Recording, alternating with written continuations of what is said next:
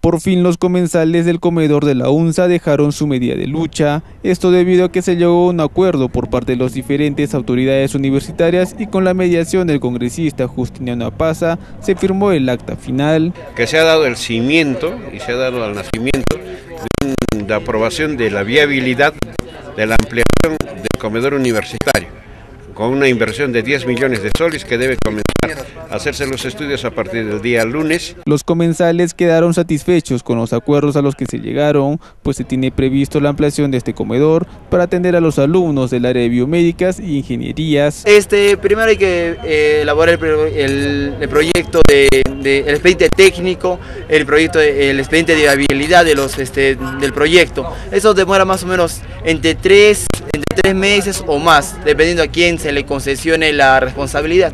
La nueva estructura será construida en la segunda planta del comedor. Además, se logró en el acuerdo la remoción de las autoridades que se encargan de este sector. El señor rector, así como el señor congresista, nos han asegurado los estudiantes agustinos de que el señor administrador, la señora nutricionista y el señor almacenero van a ser rotados de sus cargos y no van a regresar al comedor universitario. Los comensales anunciaron que la universidad sería reabierta en horas de la tarde, luego de firmado este convenio, pero esto no se dio, por lo cual las labores se normalizarán mañana.